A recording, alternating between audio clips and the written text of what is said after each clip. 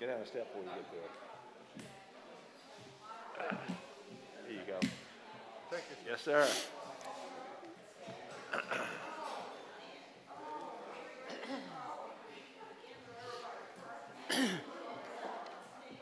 Good morning. Can you hear me? I've been told that we're actually alive, and I think that's exciting to be alive.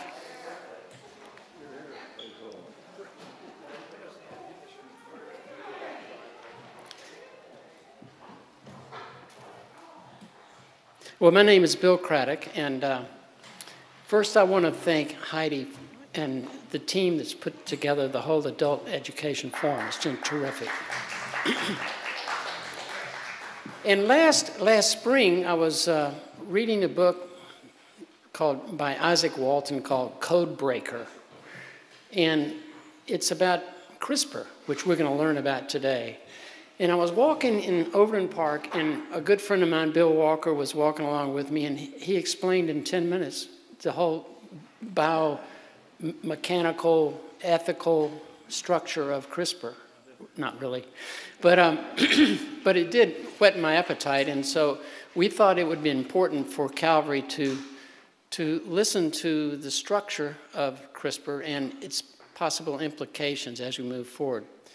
Bill Walker uh, grew up in California and received a PhD in immunology at uh, University of Southern California, actually in bacteriology. Um, and after several postdoctoral fellowships, he was asked to join the research team at St. Jude's Hospital and was involved with several research projects there. And at the same time, he taught, he was a professor at the University of Tennessee Medical School and University of Memphis and Le and he is a wonderful teacher and a great storyteller. He also, at age 35 or 40, decided he needed to learn a new language. And he decided not to learn French or German, but Morse code.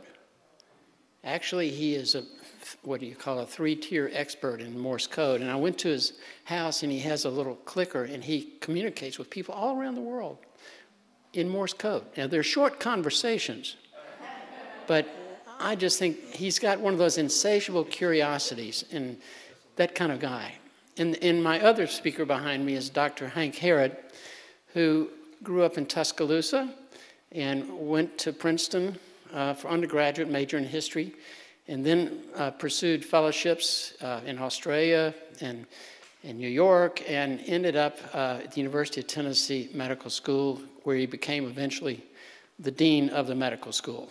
And as I said, he grew up in Tuscaloosa, so yesterday was a very important day for Hank Herrod.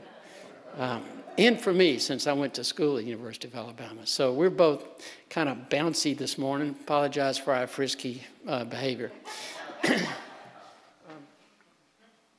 as we start, I'd like to. Uh, I'd like to explain what CRISPR is. This is all you need to know. It'll be on the, on the test at the end of the.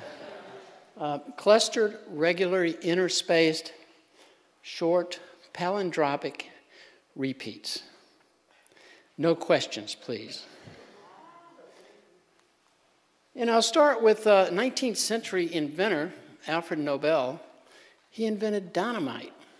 He found a way to harness the power of nitroglycerin into a package that could be used to blow up uh, mountains and make tunnels and things like that, but also because of the power of the explosive power of dynamite, he became called the merchant of death. And that was not what, his, what, what he designed it for. But I mention that because dynamite, like some other things, um, are Janus, Janus faced. There's good benefits and there are bad benefits. And how you deal with discoveries can make a huge difference in the life and the society of, of, of, of our. And so there are three, you would think there are three major discoveries um, in the 20th century the atom, the bit, and DNA. Actually, all three were discovered in the 19th century. The atom was discovered by John Dalton in the 1880s bits and bytes. And the concept of the computer was also by a fellow named Charles Babbage in the 1890s. And then DNA was actually discovered by a German, uh, Friedrich Miescher, in the 19 in the 1880s. Maybe they discovered it, but then over the years there were numbers of, of improvements or refinements, enhancements in the concepts that came about. And you think about Francis and Crick in the 1950s, they said they discovered DNA. Actually, what they discovered was it was a double helix DNA structure. But even since then, things have really changed. So we go back to the question of dynamite, and whoop, I don't want to go there yet. Um, it's important to know that, that our human race is constantly coming up with new technologies and new inventions. The challenge we have is how do we deal with that? And so today we're going to have a discussion of the evolution of the human species. We're also going to have a, a more in depth discussion of CRISPR and the structure of, of, of, of the molecule uh, RNA and DNA. And then we're going to address the ethical questions and the theological questions uh, of this discovery. So I'll turn it over now to my friend Hank Herrod, Dr. Henry Herrod, for a conversation about the evolution.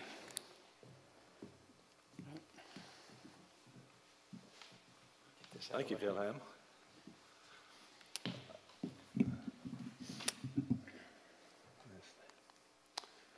Well, um, one of the remarkable things about mankind, and I think one of the things that may define us, is that we want to be in control.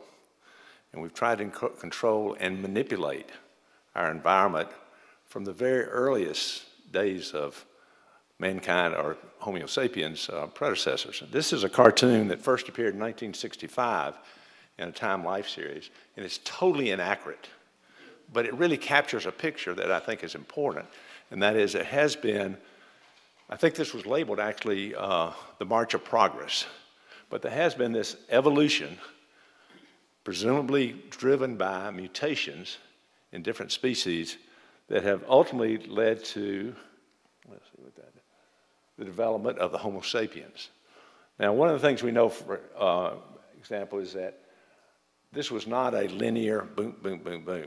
At one time, and probably many other times, we had several of these species uh, in existence. Homo sapiens lived at the same times that Neanderthal and Cro-Magnon man lived. They interbred. And most of us in this room, some people more than others, have, have some Neanderthalic uh, genes in their genome. But the first early precursors of man were uh, discovered about, or, or, existed about five seven million years ago. In uh, about three million years ago, the first, what is clearly uh, thought of as the uh, precursor, direct precursor of Homo sapiens, Australopithecus, was discovered. And some of you may remember the book by uh, Donald Johnson called Lucy. Lucy was this type of entity. It was a fossil and they put the pieces together, and it come, named Lucy comes because I, they played that song all during the camp uh, where they were doing the diggings.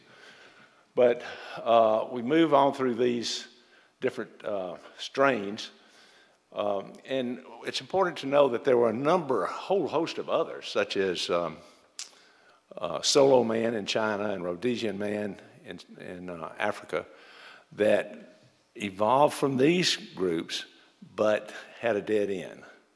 They did not thrive. Why Homo sapiens were the ones that um, made it, we aren't sure. We suspect that it's probably, we like to think that it's because we had some genes that made us a little smarter, allowed us to control ourselves and our environments a little bit better. But that remains to be proven totally. Uh, so Homo sapiens um, appeared about uh, 300,000 years ago, and any of these figures can be plus minus hundreds of thousands of years. But best guess is about 300,000 years ago. And then about 50,000 years ago, something called the Great Leap Forward, not Mao's Great Leap, but mankind's Great Leap occurred. And that's when we began, we moved from just stone tools to more sophisticated developments, technology, boats, bows, needles, uh, things of that sort. And we began to see examples of representational art in the caves of France, just in the last month or so, there's been a report of uh, a cave in Indonesia that had some really sophisticated uh, drawings in it that were older than the ones we found in Europe thus far. Uh, this was, this was, it's not understood totally why this was a period when this took place, but it's pretty clear that around that time, 30 to 60, 70,000 years ago, is when man began to demonstrate a little more intelligence and a little more creativity. Now, I don't know that you'd call this evolution, but man has continued to march forward, and we see the famous businessman who now has become like myself and probably many others of you with artificial this, that, or the other joints, uh, knees, hips, shoulders. Some of you may have a kidney that didn't come with you. Some of you may have a heart, pancreas. We're doing all sorts of things to manipulate man.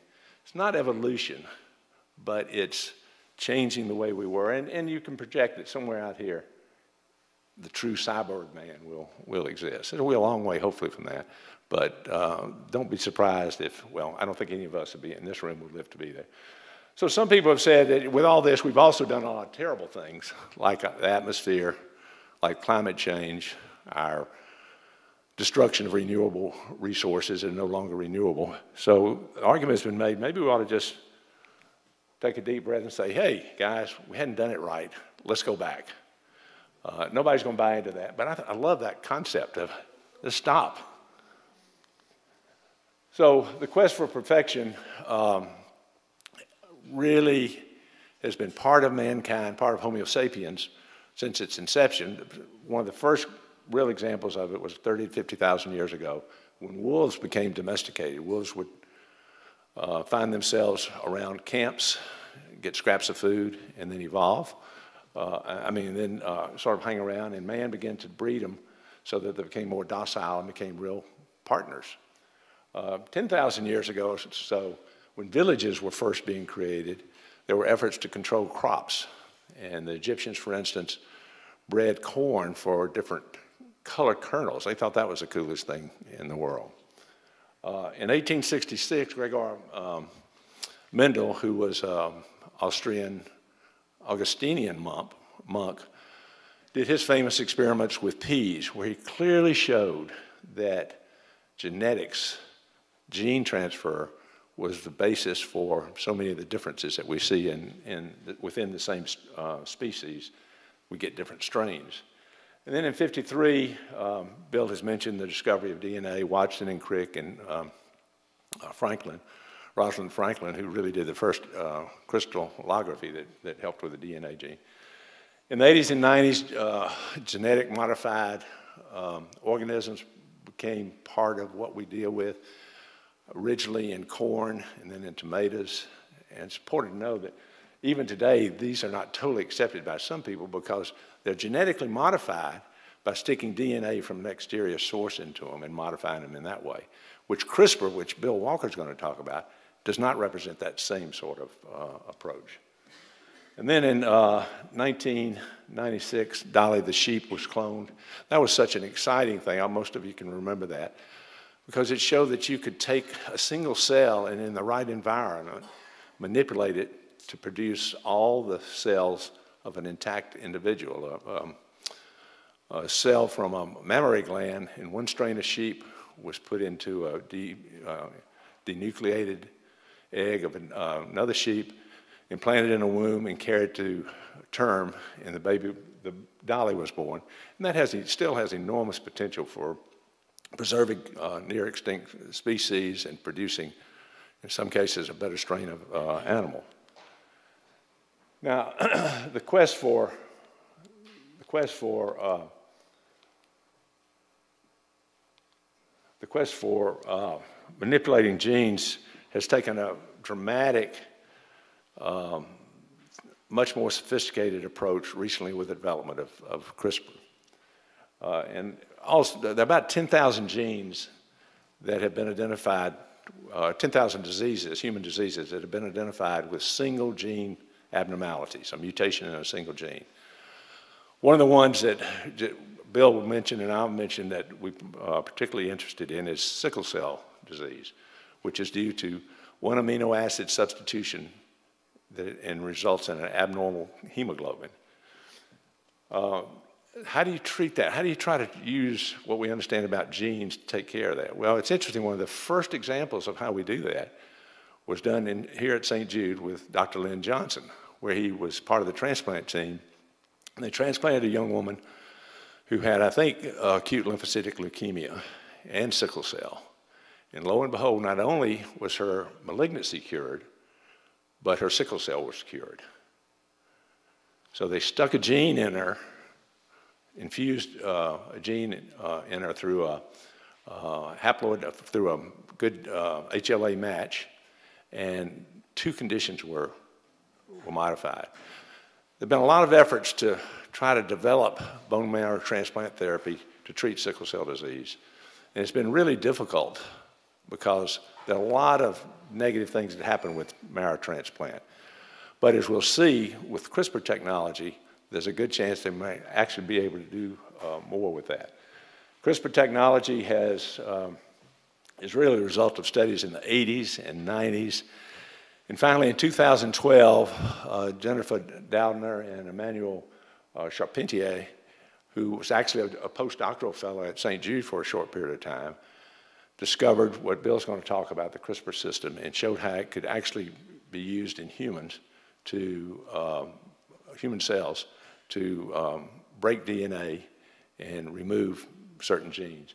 And in 2020, they were jointly uh, given the Nobel Prize. And with all Nobel Prizes, there's a lot of politics associated with that because there are a lot of other people who have done incredible work to help them get to where they were. So uh, what we have now is a situation where CRISPR can be used to not only slice a gene out, but insert a better gene. And Bill will explain how that uh, process works. Uh, I don't think we need to go through the history of, of CRISPR specifically here. And Dr. Walker, you take over.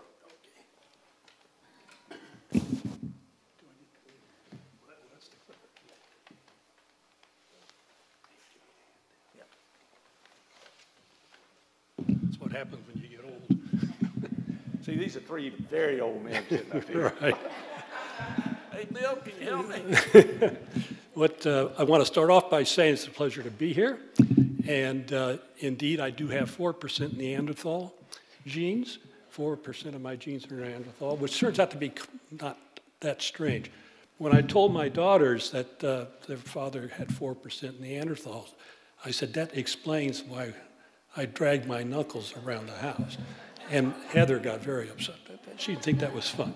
Okay. Um, well, brief, uh, we have briefly reviewed CRISPR, and I'm going to start off so that we're all kind of on the same field and familiar with the terminology. Okay. With the terminology, uh, just what a cell is, what the DNA is, what the nucleus is, just to kind of get everybody in up. So here's a, whoops, the wrong thing. There it is. Pointer. Oh, that's it. Oh, it might be in there. That black thing. Thank you. So a cell uh, contains uh, all the goodies in the cytoplasm, and most importantly for us in this talk, it has a nucleus, 23 sets of chromosomes uh, in the nucleus, 23 from the parent, each parent, and this is the chromosome, and the DNA stretches out like this, and the gene is just a section of that DNA, just a section of it, okay? and uh, contains the DNA, which stores all the genetic information. This is an example of, again, the same type of thing. And you'll see now letters coming up. And the letters are the bases. These are the bases. This is the code. Code. And there's only four bases you have to remember about A, T, G, and C. That's the four letter code. No one could believe that that was the code before Watson and Crick because it's so simple. So simple. Everybody was trying to make it very complicated. But in fact, as we usually know now, it is,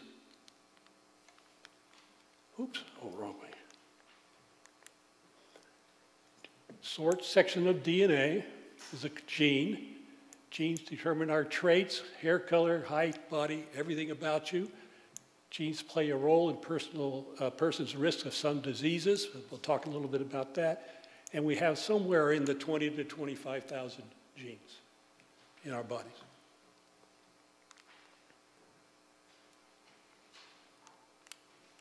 Okay, we're going to talk about molecules of interest because we're going to talk about DNA, RNA, and proteins. You've got to figure out what they are.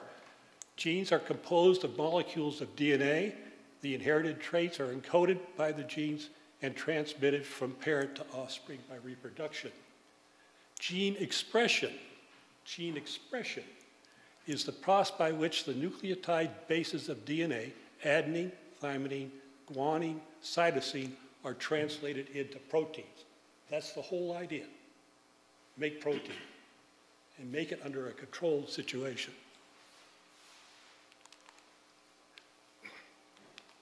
Okay, so this is a diagram of DNA. First thing to know is that A always T's, always pairs with T, AT, G with C. They pair like this, okay? Here's an example, T to A, G to C. You can see Watson and Crick saw as soon as that was, the pattern was established, their comment in the paper is we immediately saw a mechanism for what? Inheritance. There's a mechanism of inheritance. This is a space filling model. This is what DNA looks like. This is kind of a structure model. Again, you can see A pairing with T, G pairing with C, just like here. Now, if anybody doesn't see something in here, please holler. We're very anxious to walk people through this. It's not, we know it's a difficult subject, but uh, okay, so now how's this information flow? How do you get from DNA to protein? That's the issue. And there'll be some places in here which I will mention CRISPR as you'll see the mechanism by which its specificity arises. Okay? First, off to protein. A temporary copy of DNA is made. It is called messenger RNA. Messenger RNA, mRNA. Okay? It's made the same way as DNA is made in the sense it's got A, T, G, C, except in RNA, T T is replaced with, cytos- with uh, uracil. Uracil. That's the only difference basically between the two as far as the code is concerned. And there's a reason for that, because that uracil makes this molecule a little bit more unstable than DNA is. You know that you can go into a cave in Siberia, dig in the dirt, and you can sequence it. You can find DNA there. That's why we know there were Neanderthal and et cetera living in the caves but you can't do it with RNA. RNA is extraordinarily labile, okay? If you see a scientist in the lab doing his RNA experiments, he or she are wearing gloves. And you say, oh, something's dangerous. Uh-uh. You're protecting the sample from you because your skin flakes. And you drop that into the tube, that's RNA in there, and boom, it's going to fall apart. So you can ruin a lot of RNA experiments by not wearing gloves. That's why you see them doing that. Okay, so we make RNA. Next, the RNA is exported out of the nucleus. It gets transported out of the nucleus into the cytoplasm. That's everything else outside the nucleus and inside the cell. Okay? Where it moves to a factory called the ribosomes. They are protein factories. They make the protein off the code from the RNA. Okay? So DNA to RNA to the ribosomes to protein. You can envision this process as a car moving down an assembly line. As it moves down the line, amino acids get added until at the end there is actually a sequence in the RNA which is called stop. And when the ribosome hits stop, off falls the protein. And the ribosomes start all over again. So it's a continuous operation, just like a factory. Okay? There's translated, so the language of the DNA is translated into the language of, the, of RNA, which is then translated into the language of protein. That's the flow. Everybody get that? Okay. All right. In my presentation, this is the most important slide. Okay. Note that the mRNA sequence can recognize its complementary, complementary DNA template strand sequence. Notice, here's the DNA template. This is the RNA. This is where CRISPR comes in. Because CRISPR uses the mRNA sequence to find the DNA of the virus. Okay? That's how specific it is. And it's very important to understand that. This, this slide tells basically what CRISPR is going to be doing. It's going to be using this to find that. A typical gene might be 50, 60 of these, but the RNA is going to batch it perfectly, absolutely perfectly. Okay? Has to do that. Okay. So we're going to digress off a little bit right now. Mutation is a change in the DNA sequence caused by causing the cell to function differently than it otherwise would. And mutations can result from all kinds of environmental influences, from sunlight, I suffer from that, malignant melanoma, boom. Grew up in California, really, you pay for a price for that. Okay, exposure to chemicals, radiation, uh, mistakes made in copying. The mutations happen in our cells all the time. Usually the cell detects the mutation and repairs it. Most of the time can repair that damage. Okay?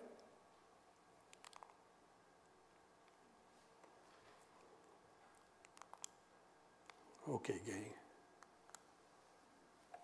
So this is just another example of DNA to RNA to the functional protein. And in this particular example, there's a mutation that takes place up here, and a mutation ends up translated into the, uh, to the protein. So the protein doesn't work right. In sickle cell anemia, it's a, it is a single base pair change, and the cells are now sickled. They don't flow through the circulation very well, and the patient suffers from that. And that's what we're going to, if we get around to it, we'll tell you how the first uh, cure for sickle cell took place in Tennessee, by the way. This thing is. okay, uh, natural mutations, that's mutations that occur in everybody all the time, can lead uh, to changing your phenotype, what you look like, things like that. In, and uh, these, there can be beneficial ones that uh, improve you a little bit, and there can be examples of bad ones which you have a problem with. Uh, giraffes, for example, evolved long necks. Uh, this was an interesting argument in Darwin's time, why the giraffe had such a long neck. Uh, some people argued that the giraffe stretched its head to eat the good leaves up there, and somehow that was passed down to its offspring. Uh, other people said no, and experiments were actually done to test that in mice or rats, cut off their tails and breed them go through generations and generations, and the tails stayed the same length. So that was the first test of what was called use and disuse, that you could do something like that, and that goes back in the early 1800s. Uh, synthetic mutations, uh, I've heard CRISPR being an example, and CRISPR has been used for improvements in agriculture and the treatment of diseases. Uh, the first case of successful treatment of uh, sickle cell disease, sickle cell anemia, done in Tennessee, in Nashville at a, a clinical hospital, does nothing but clinical trials, uh, led to a cure in a woman 35 years old. So now we want to get down to the nuts and bolts of what is CRISPR. And this is going to take a little study on your part. Okay. Okay, clustered, we already been through what it all means, but I want you to note that there's this big red blob up here and that's called Cas9. Cas stands for CRISPR associated. And number nine, there are now many Cases. And Hank just told me we're up in the thousands. So it's an interesting phenomenon. This is an endonuclease. A nuclease is an enzyme that cuts DNA.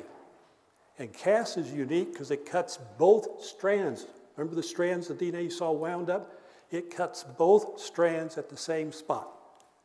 So you get an instant double break. Instant double break. Now, how does Cas find where it wants to cut? Remember the RNA?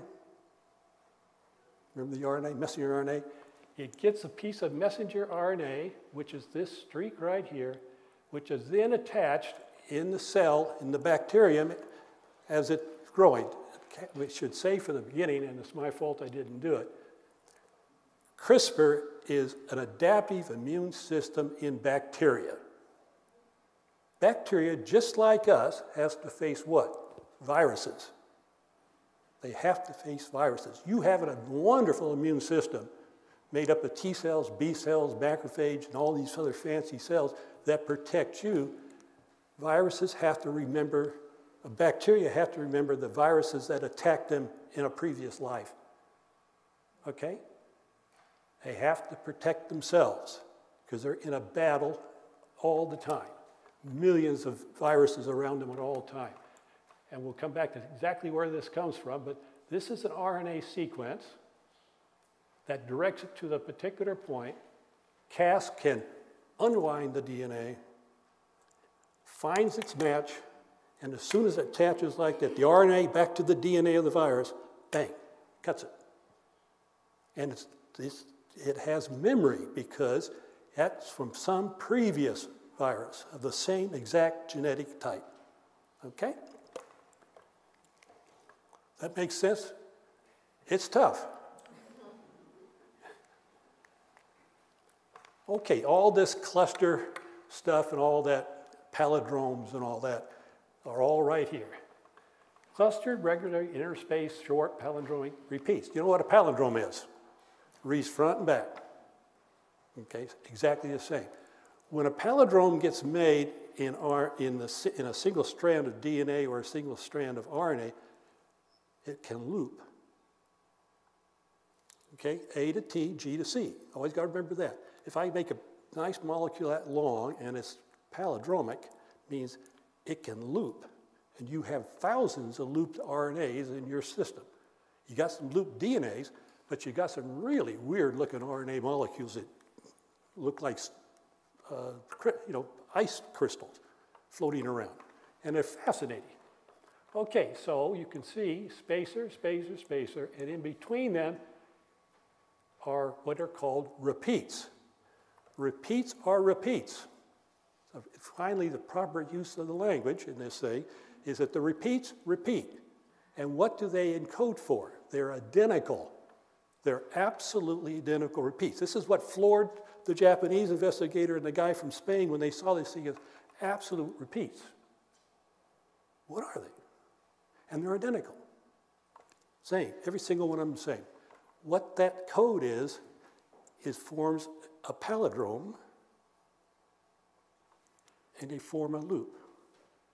And the loop is what binds to Cas. Okay? In between the, the repeats are called spacers. Each spacer is different in its sequence. And what is it a sequence of? A previous virus that infected that bacteria at some time in its past. That's where the specificity comes from, is because loop, virus 1, loop, virus 2, loop, virus 3. Right there, that bacteria that has that sequence in it right there can protect itself from three different viruses by directly doing that. Okay, so what happened? Well, Hank and I were talking a little bit earlier. Could you imagine when Doudna and, and uh, uh, Carpentier realized that this system allowed them to do what? They can find, they can edit any DNA sequence in, in any plant or animal that they want. Why? If I know a DNA sequence, uh, let's just to make one up. Hey, we have a nice DNA sequence up there, and there's a mutation there causing a problem for you. I can find it because I can go to my computer, type in the DNA sequence, say, find me the messenger RNA that matches that sequence, out pops the sequence. Okay, and the machine will manufacture that for you, and will also add on to the end of that RNA the repeat. So you now get a loop and a message. And that loop's going to fit in where? Into Cas. Okay? You just gave Cas a GPS system to find whatever that RNA tells it to find. And if it finds it, bang, cuts it. It's beautiful. This is an adaptive immune system, just like your T cells and B cells. You do it a little more fancy, but this is just as good. Okay, does everybody see that now? I know it's a, it's a bear, but one of these days. Okay, so this is the whole ball of wax right here. If one knows 20 to 30 bases of DNA, okay, a DNA sequence of interest, could be in an animal to make it bigger, smaller, whatever, or plant, one can make a complementary guide, it is called guide RNA, guide RNA molecule, couple it to a, a hairpin loop that binds to Cas9 nuclease, which represents the scissors, okay, and have a highly specific gene editing or gene, uh, have a gene editing or gene cutting tool, okay? So that's where the specificity comes from. That RNA drives the specificity. DNA to RNA to protein, and that intermediary can go backwards and be used to detect the gene. Okay, so this is an example. Here's our gene of interest, just a little that. Here's the guide RNA. So here's the gene of interest. Notice it's complementary to this DNA. Got a hairpin loop in it, and it's got a Cas9. Ready to go. If it sees that sequence, it will chop it. And you can do what's called gene knockout, which means you just turn off the gene, eliminate it. And if, you can, if it's a gene that you can live without, but it's causing you trouble, bingo. Okay? Is that it? Okay, this is back to. Okay? I'm glad this has been taped so you can go through this again and again and get ready for your test. But two days ago, we had a palindromic paradigm. It was December the 2nd, 2021. Is that right? Yeah, if you go that backwards, it's the same. So maybe we were looped um, two days ago. I was looped yesterday, but two days ago I was looped. Um, we, we talked about um, potential uses of CRISPR, and Hank and Bill both talked about crops and animals and how things can be fixed in sickle cell anemia, and they're using this for a lot of diseases now. They're doing tests on it. But um, the big question is does this mean we can create our own uh, babies who, have, who are tall, blue eyed, strong, intelligent, uh, good personality? We're not there yet. But it, this is a slippery slope. Um, and there's been a lot of ethical and theological issues surrounding this whole question of CRISPR. Uh, are we playing God? Uh, is it really right for us to make decisions for our offspring's uh, phenotype or structure, body, and so on? There are two barriers on the slippery slope. One is whether this CRISPR technology is going to be used for somatic or even with germline uh, activity. Somatic is actually moving CRISPR into someone's body to protect them from a disease they have, and maybe to, as Bill would say, switch off that gene, and then they could perhaps be healed. And so, this somatic cells are cells that are not tied to the egg, the sperm, or the embryo. Germline barrier or germline cells would actually change the future offspring uh, because you would be changing the genes that then would be produced and developed into the future generations. That's a huge, huge decision. And so, where on this slippery slope are we? We look at also disease and enhancement. Obviously, I would think as good stewards, we'd want to be rid of disease, or would we? I mean, who are we? Sometimes our disease identifies who we are. Should that be, should that be left to the individual choice or to the government? Uh, but then you ask even harder question what about enhancements? You know, I have flat feet. I wish I could have run the marathon yesterday. If, if that had been changed before I was born, I wouldn't have had a choice on it, but I kind of like my flat feet. I can stand pretty well with them. But would that be a decision that my parents should make? Or how does that work? Where do we stop on this slippery slope? Those are big questions. Um, and the bioethical peoples uh, really started in about 1980s, and they come up with a structure of four key decision points or questions to look at this slippery slope. One is, is non maleficence. I had to learn how to spell say that, but maleficence is are, is this harmful? Is, will this be bad for the body? And you want to make sure that whatever you do with CRISPR is not harmful. And they don't really know what the consequences will be out there in germline uh, intervention. Uh, and that's going to take a lot of study. But is it harmful? And the second is beneficence. In other words, is it good for life? Is it good for society? Is it good for the person? And the third was um, the respect for autonomy. Whose decision is this? I want, I want to do this or not. Uh, we, we see the respect for autonomy with some of our current issues uh, in abortion and other, other issues where there have been a lot of back and forth on stem cell uh, work in the past decade. Uh, injustice. What's fair here? If, if I can afford to, to have my offspring tall, blue eyed, or whatever enhancement I need, and you can't afford it, where do we stop? Where's the slippery slope? What works, what works there?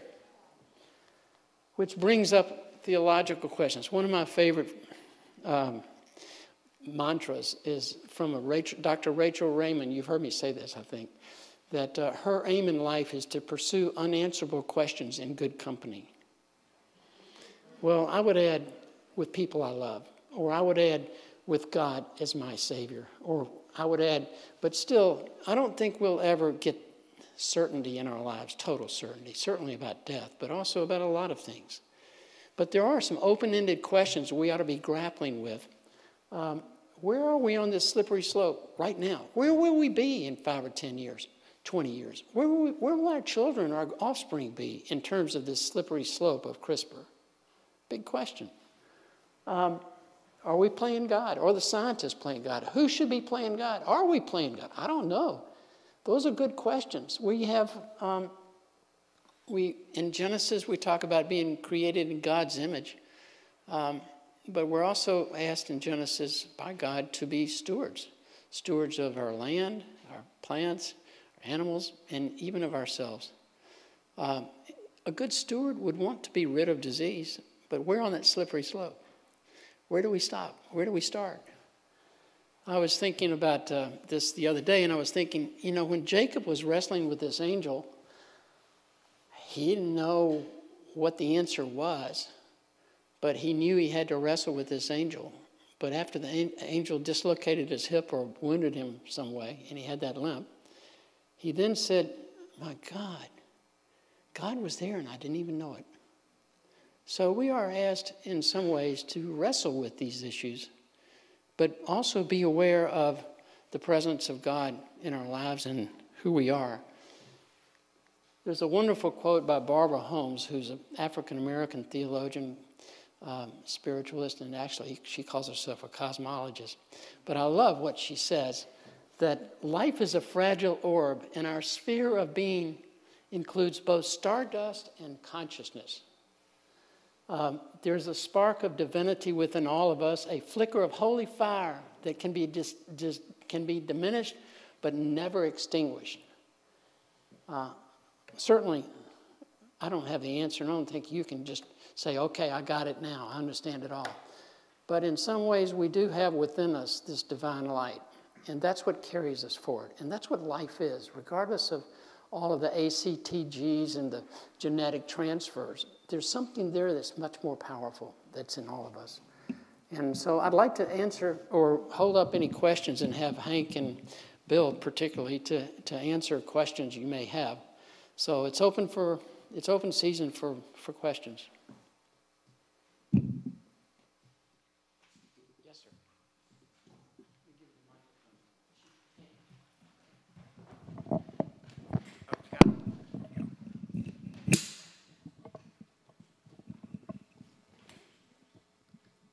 Has this technique been used yet in humans? And if so, what was the role, what was the attitude of the scientific community? Yes, it was, well, there's been two major uses of it. One, well, hello. Uh, in China, uh, Dr. He uh, used CRISPR to modify two females uh, to knock out the CCR5 gene, which is the co-gene, co-protein to take HIV in, along with the other molecule into cells. We do not, he's been in jail. Uh, when it was discovered that he did that, it was, he announced it at a meeting in, I think, Hong Kong. And uh, it was an international meeting. Uh, Doudna was there, I believe. And uh, they just freaked out. The, the international community just absolutely freaked out. And conferences were established, et cetera, uh, for germline editing. Uh, in contrast, uh, it has been used in sickle cell disease and is curative. And it was a very interesting way they did it. They didn't knock out any gene. Uh, they just put the brake on a transcription factor which uh, shut off fetal hemoglobin synthesis in humans as you transition from a fetus to an adult. And that worked beautifully. That turned off. The woman is, uh, has about 40%, last time I saw it, about 40 or 45% fetal hemoglobin, hemoglobin cells, which is sufficient. To, you just need about a little bit over 25, I gather, to, to function normally. And she is no more transfusions, no more pain, nothing. And she's walking around. She's from central Mississippi. So that's the two examples that I'm familiar with. I know Hank, Hank has others. Yeah, there's a, a couple of very rare diseases in children, a certain form of blindness that's been treated at, at the uh, University of Oregon.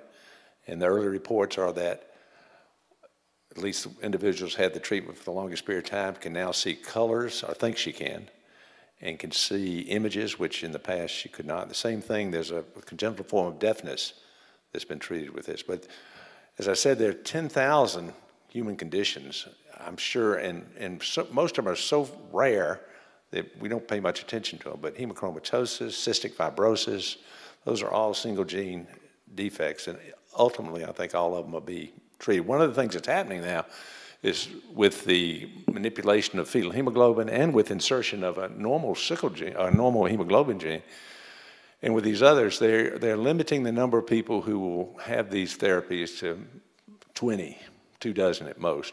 And they're going to follow them for three to five years because the concern is we, we don't know what we don't know. And there's a possibility that by doing this, even though we don't recognize it currently, there may be unintended consequences. So rather than opening it up for everybody, I think very judiciously it will be slowly uh, established, yeah.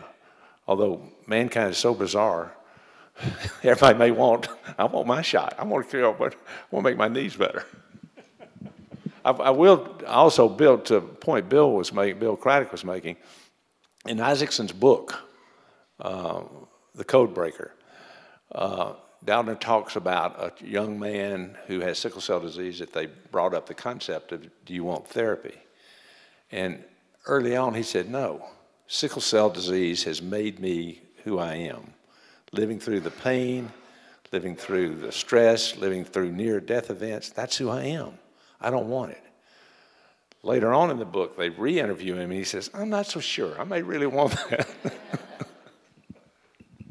Other questions? Yeah.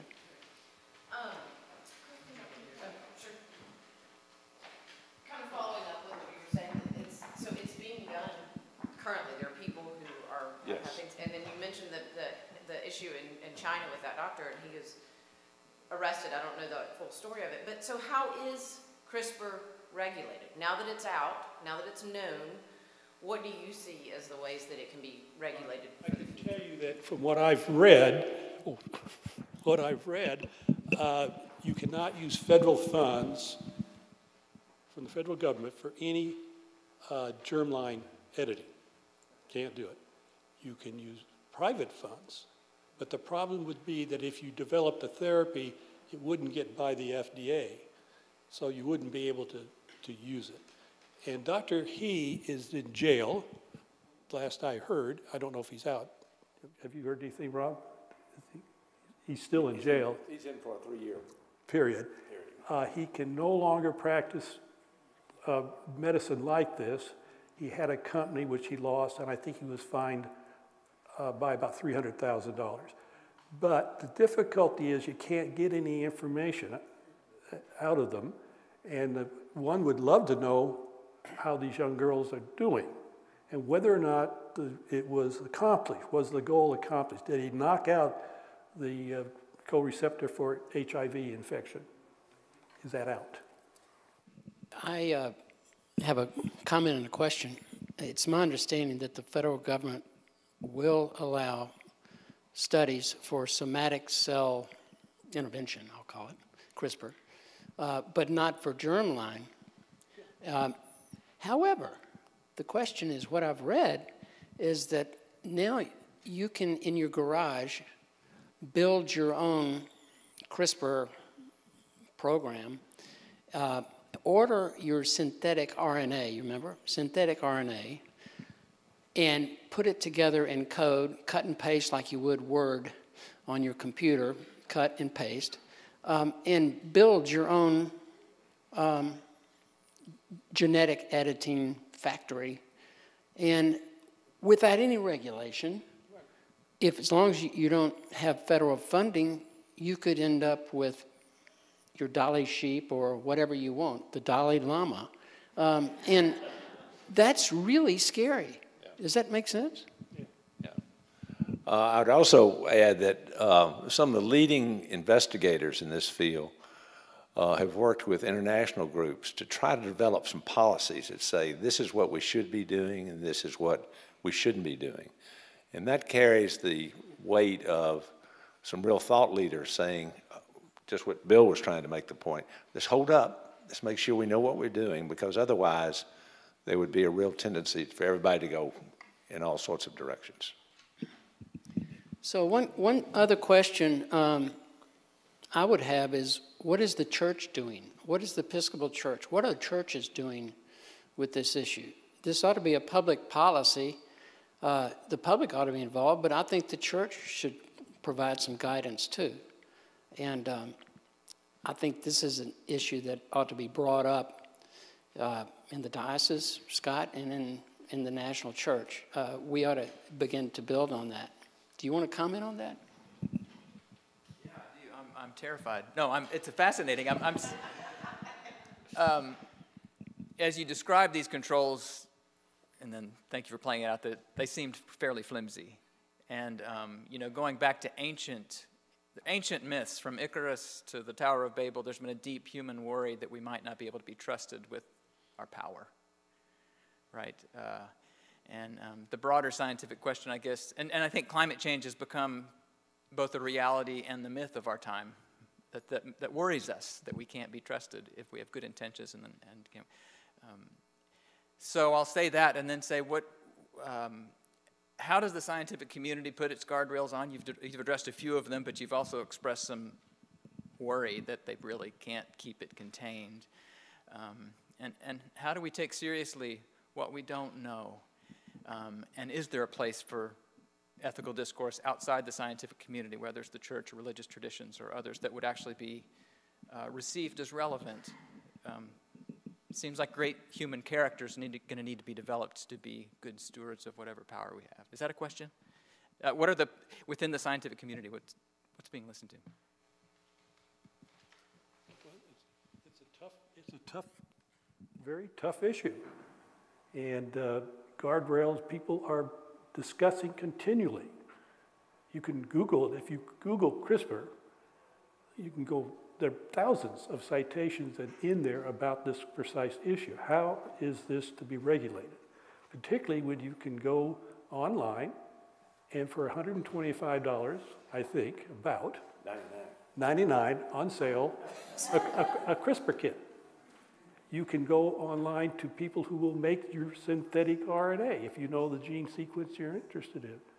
And it will come in a box and be delivered by FedEx. That's, that's tough. You know, a, a bit of an analogy uh, goes back with the sequencing of the genome. The guy who was leading that was a guy named Craig Venter, and he was, he clearly was in it. I mean, he's brilliant, but he's clearly in it to, to develop a commercial product where we could, we could all know what our genome's like, where you could sell this, that, and the other. And um, the NIH, under the direction of Dr. Francis Collins, was trying to do the same thing. They weren't quite as quick as what Venter had done.